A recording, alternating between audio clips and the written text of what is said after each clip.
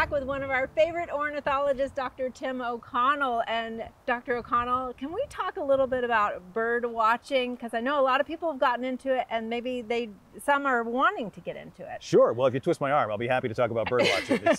uh, I, of course, love birds. I've studied birds since I was a little kid. And anytime I get to share that with other people, it makes me really happy. Uh, and it, it doesn't have to be that complicated. So if we can spend a few minutes talking about how easy it is to get into it and what it's all about, I'm happy to do so. Yeah. So what's, I mean, do I need to go out and buy khaki and a hat and binoculars and get the costume or what, what do I, apps? I am a big fan of costuming. However, you, you, don't need it to be a birder. You know, okay. you, what you really just need to do is start keeping track of the things that are around you. Okay. And one of the great things about birds is that they're so many of them are not just showy in their plumage, but they're also singing and calling all the time.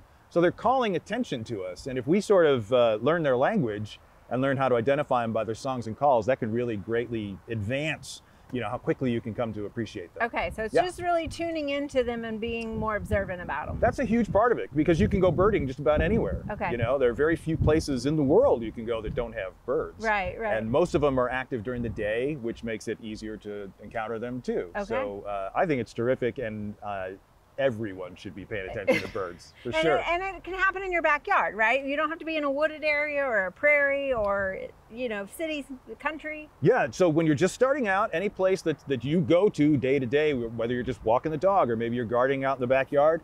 Uh, these are great times that you can be, you know, learning some birds that are around your own home or in your own neighborhood. Then, if you uh, if you reach a point at which you want to learn more, or maybe you mm-hmm. want to see some things that you're not likely to see around your house, then maybe like, oh, I think I want to go see some grassland birds. Okay. And then you start sort of learning a little bit more about where you can go to find those. Or maybe I want to see some birds that are really just going to be in the forest. They're not going to come around my house. So then you can uh, start to plan some forays to do things like that. Okay. And of course, people get really serious into birding. They even want to see the rare stuff, things that are way out of range, uh, and and it's fun for them to sort of keep track of that. So then you might be going to tropical countries, right? Or you might be waiting here for something from a tropical country to come visit. Okay, so yeah. let's talk about that because things are kind of migrating up right now. There's a good south wind, and this is perfect conditions for migration. Birds are there's some kind of bird on the move all through the year. Okay. Right, but they're like the peak of migration is in spring and fall.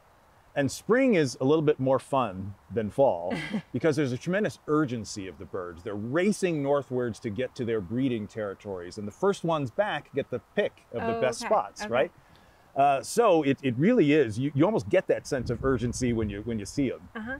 Little birds uh, like songbirds, warblers, vireos, sparrows, thrushes, things like that. They usually migrate at night and then during the morning, they'll sort of put down and then look for a place where they can find some food and be safe for a bit, and then try to replenish whatever fat they've used up in the last night's migration. Okay. Oh, there goes a woodpecker.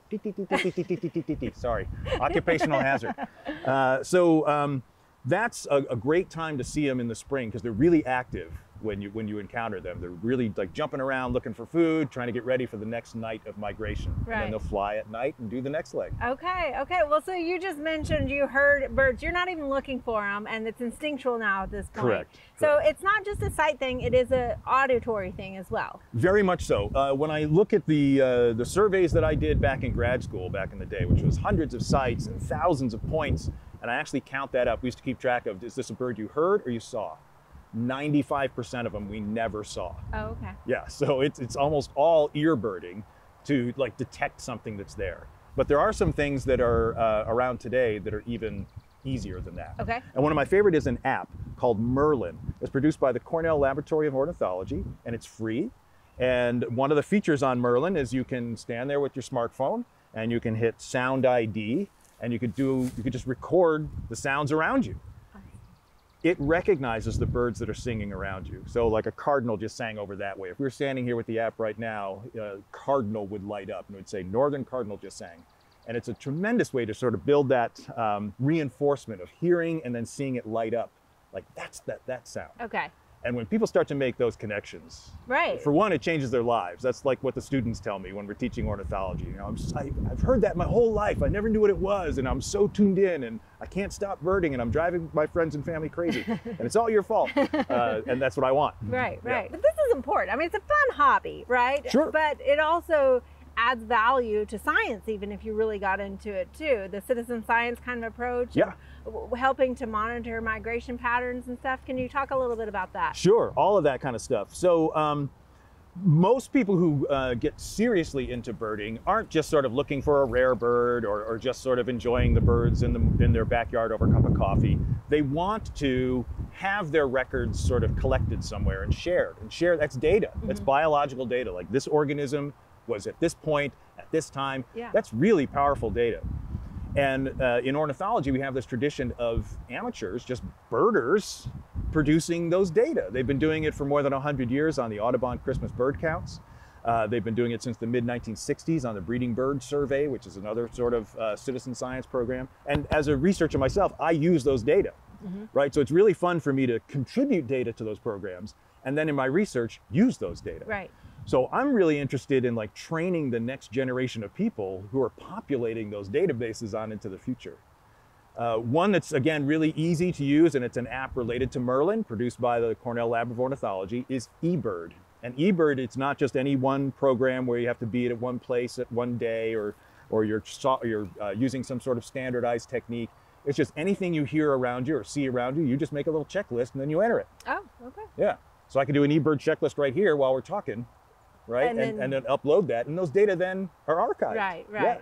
And that's fascinating for people both on either end of it. So, as a person in your backyard, you can help add to that scientific information and then you as a researcher are then able to utilize it. It's, so it's a win-win. It's, it's awesome. a win-win for the birds. And not to mention, you're just getting out and being able to enjoy the environment as well. So there are people who um, who run and bird. Mm-hmm. There are people who cycle and bird, and and obviously people do a lot of walking. And some people that do television interviews and bird that, at hey, the same time. You know, some of us just can't turn it off. Thank you, Dr. O'Connell. My pleasure, Casey.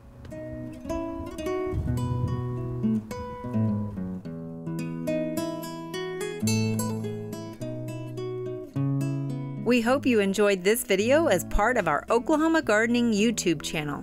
You can also find even more videos on the OK Gardening Classics YouTube channel. And join us on social media for great gardening tips, photos, and discussion.